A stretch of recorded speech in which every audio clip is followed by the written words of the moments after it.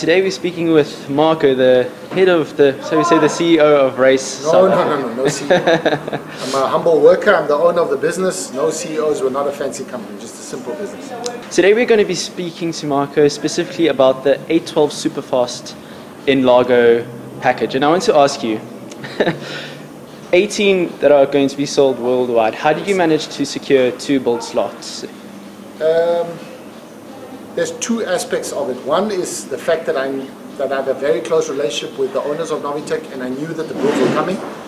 So I kind of like lined it up and said, look, I have to have at least one, and I potentially have a second guy who's also uh, in, interested. Basically, the, the two that are here are going to the two guys who have the two 488 N Largos, Okay. of which one has also got the F12 N Largo. Yeah. So he's lining up all their N Largos. So it was kind of natural that a person that has invested so much in my brand and in Novitec's brand would have access to it, and one of his close uh, friends and partners who has the 488 N Largo already wanted to also continue their connection. Okay. So uh, it was due to their loyalty uh, and also uh, near Novitec with such a close relationship, we built a lot of special cars for them. We've been a, a big source of marketing material for them in the past, and they, they enjoy our style and the, the spin that we put on their cars.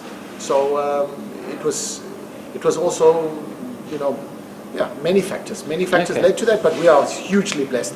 I mean, America gets two. Wow. The rest of the world uh, will get each important uh, distribution point of theirs will get one. You know, in the best case scenario, Yeah. one. Wow. Uh, America will get two. Okay. America has just finished building their first one, that uh, bronze one. Okay. That was shown at Monterey Yeah. Car Week last week. okay. Obviously, it's not just put on a body kit. Like, what's what's the most difficult part of the whole uh, N Largo project? I think the most difficult is the rear quarters.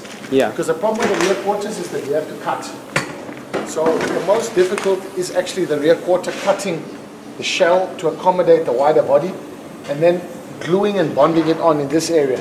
The, the, the mating between the original shell and the new carbon panel is the challenge and the lineup that goes in with everything else.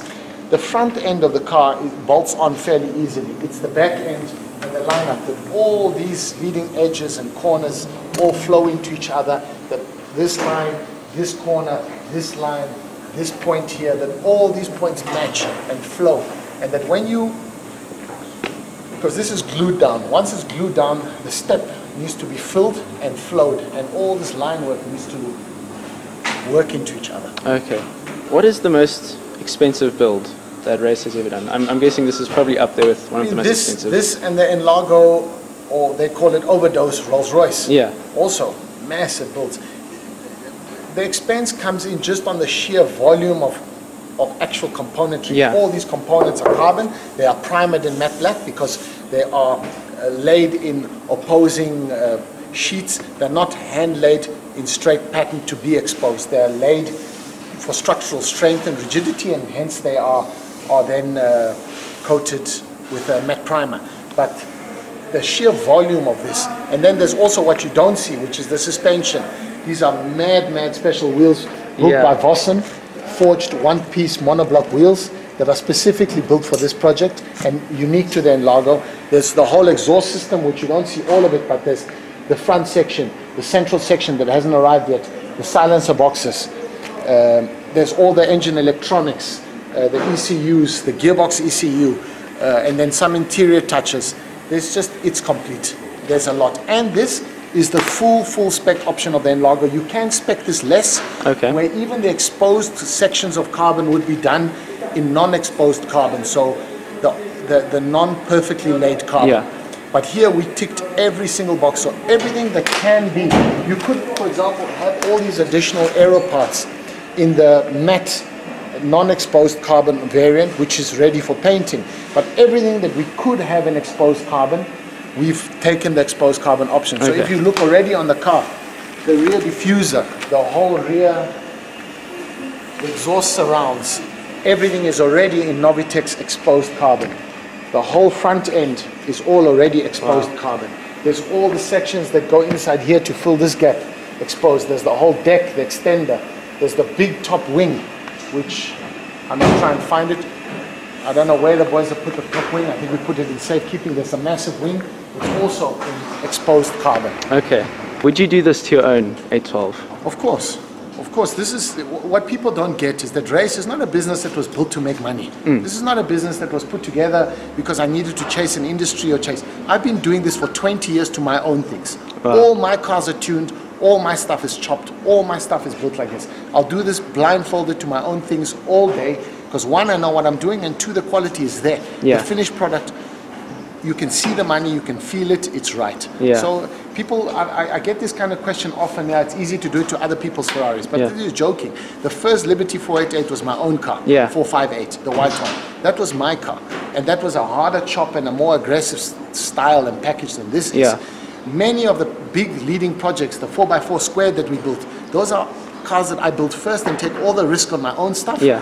and then sell it on. I can't, can't afford to keep all these cars. I'd love to be able to own every single one by myself, but it's not physically possible. Yeah. Many of these projects I've also gone in with the customer saying, right, I'll fund the kit, you can put the car in. If you don't like it, I'll buy you out. If I don't like it, I'll buy you out or vice Yeah. versa, or whatever we want to do. Many times, it's the, the fact I'm not doing it solely to all my own cars Yeah. because I don't have the financial capability to Yeah. do it all and keep them all. But this business is built on the fact that I was doing it first on my own things, and people said, "Shit, I like that. Can I also have it?" Yeah. And that's how it, my business is built. This is not a money uh, making venture. Uh, this is built on the right principles. So it's I'm, it's definitely passion. It's, it's what fuels you the most. Yes, it's, it's built on the right principles and on things that are, that are real. As in, I, we know what we're doing. I love what I'm doing, and it's built properly. This car, when it's finished, is going to be a work of art, and I'm going to be proud of it. I'm going to love it. This is, I love what I see. Yeah. Speaking of that, when do you think we will uh, see the finished product In the next the? two to three weeks, it will be done. The painting process is really, really laborious. It's going to be hard to color match. You obviously don't want to blend here and here, so Yeah. we're just going to respray practically the whole side of the car. Spray it once, and we'll.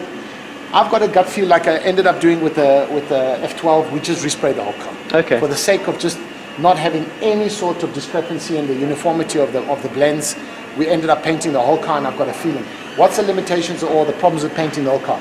Got to take the, the glued in quarters out. We've got to cut the rear window out because it's glued in, floating. There's a lot of technical issues that are that, that, that are going to hurt us. Yeah. Well, not hurt us, add time and add cost to the build, but I just, I'm not going to cut corners. We're Absolutely. build it properly, and this is a particular color. We want to look at it when we've done the first layer of paint and see what decision we make. Awesome.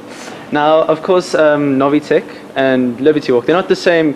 Obviously, they've, they've got their differences. But if you had to choose, which which body kit would you would you put on yours?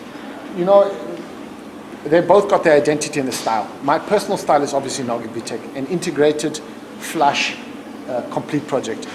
People also don't understand that Liberty Walk's concept is to replicate a GT3 race car on the road. Okay. It is not a design concept like N Largo is Yeah. they have this rough, rugged, ready GT3 style. When we applied the tire stickers, and Kato was here from Liberty Walk, and we're putting these perfect tire stickers, they don't like that. Yeah. They want that stencil with the spray, Okay. with the overspray and the roughness. Yeah. He's even commented that my builds are too clean and too precise. Wow. They wanted to have that rough and rugged Japanese street race car Yeah. feel. That is not the case on a car that's going to end up having a 14 million rand finished price tag. Yeah. So and Gosh. Novitec uh, costs ten times Liberty Walk. Yeah. So uh, they're not in the same place. Not in the same place. Right, Marco. Thank you so much for taking time out of your very busy, uh, busy schedule to come talk with No us. problem. Thank you guys for coming and and uh, taking your time too.